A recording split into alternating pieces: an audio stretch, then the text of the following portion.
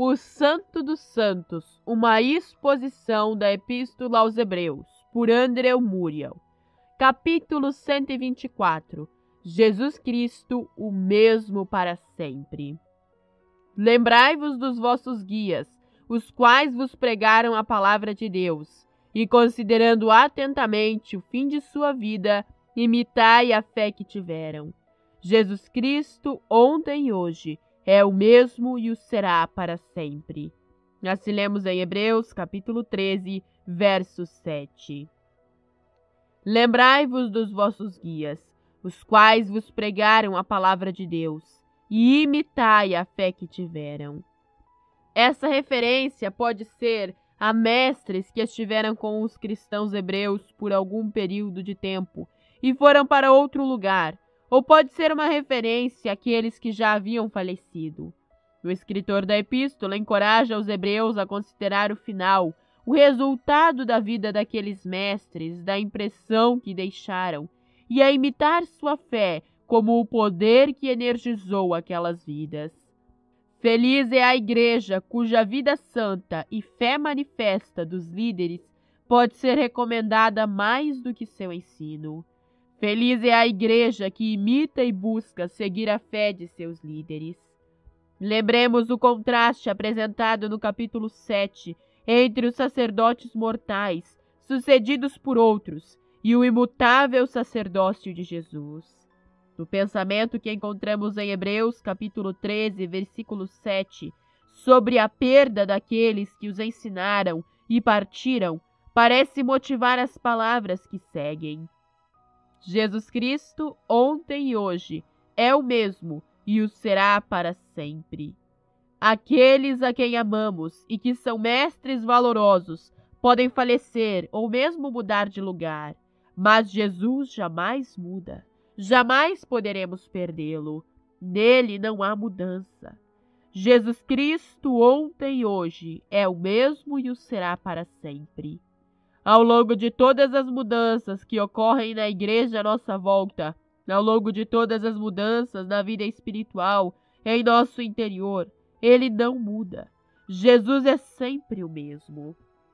À medida que nossa fé vê e apega-se a essa verdade e descansa em Jesus, como aquele que é o mesmo para sempre, nossa fé participará de sua imutabilidade. Como ele, nossa fé não mudará será sempre a mesma. Ao longo de nosso estudo da epístola, vimos repetidas vezes que o grande defeito dos cristãos é a falta de crescimento contínuo e certo. Eles não se apegam firmemente até o fim, não permanecem firmes até o fim, como ocorreu com Israel na antiga aliança. Não continuaram na minha aliança. A grande diferença da nova aliança a maravilhosa perfeição da redenção de Cristo e de seu sacerdócio eterno é que agora deve ser posto um fim à prática de retroceder na fé. A nova vida não mais será vacilante, repleta de mudanças e oscilações. Sua medida e poder, sua âncora além do véu devem ser a ação incessante de Jesus, o sumo sacerdote, no poder de uma vida indissolúvel mantendo para nós no céu e dentro de nós no coração uma comunhão de graça com Deus, sem perturbações e permanente. Mencionamos mais de uma vez que a única razão por que tantos cristãos jovens e sérios não logram alcançar essa vida estável é o fato de não conhecerem Jesus. Não o conhecem pela fé, como a epístola o apresentou aqueles que prosseguem para a perfeição. Não o conhecem como um sacerdote para sempre, que sempre vive para interceder por eles, e que, portanto, vigiará e guardará a cada momento a alma que depositar sua confiança nele com essa finalidade. Eles desconhecem que aquilo que Jesus fez por um dia ou por uma hora, ele fará cada dia e cada hora porque ele é o mesmo ontem e hoje, e o será para sempre. Tudo que Jesus foi ontem, na grande eternidade passada, o objeto da satisfação do coração do Pai, e o recipiente da vida e do amor do Pai, bem como aquele que concede essa vida e esse amor, ele continua sendo hoje. Tudo que Jesus foi ontem em sua vida na terra, com seu coração manso, terno e cheio de compaixão, ele segue sendo hoje. Tudo que Jesus foi em seu trono ao enviar seu Espírito, ao operar poderosamente em sua igreja e por sua igreja, ao revelar a si mesmo em gozo indizível aquela alma que confia, ao encontrar e abençoar a você que lê estas palavras, ele segue sendo hoje. Tudo que Jesus é, ele pode ser para você hoje. A única razão de você olhar para o ontem como sendo melhor do que hoje é porque você falhou em confiar nesse Jesus ou desconhecia que ele está esperando para fazer de cada hoje uma nova revelação e uma experiência maior da graça de ontem. O mesmo ontem e hoje para sempre. Sim, tudo que Jesus foi, ele o será para sempre. Tudo que ele será para sempre, ele o é neste momento para você.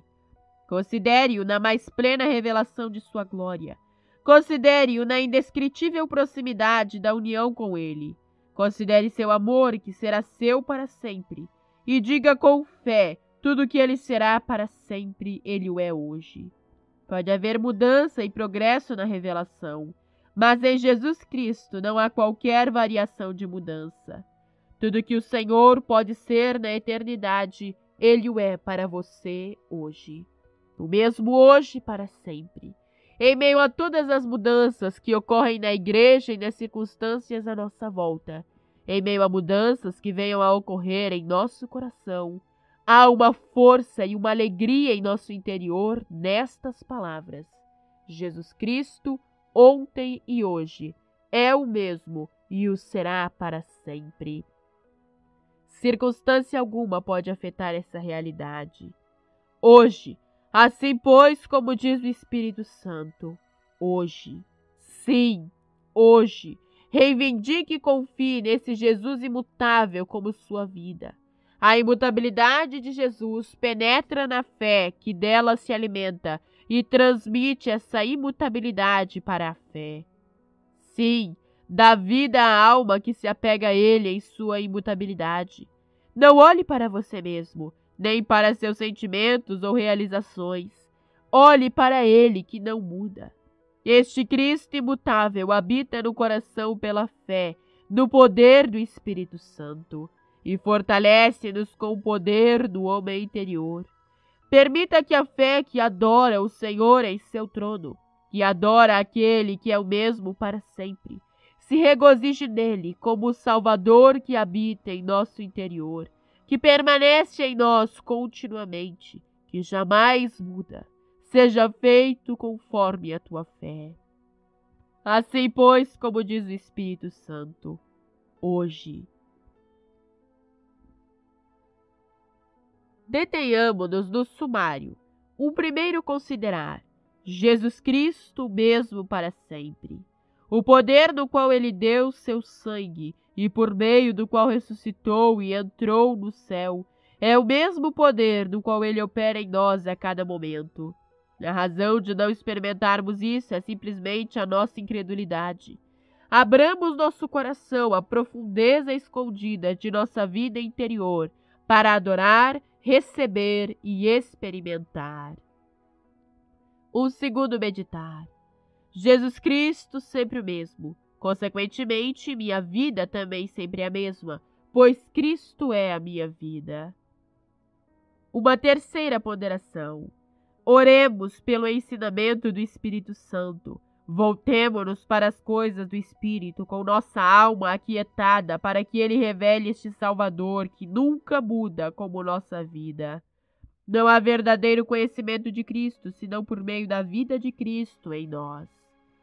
E uma quarta meditação.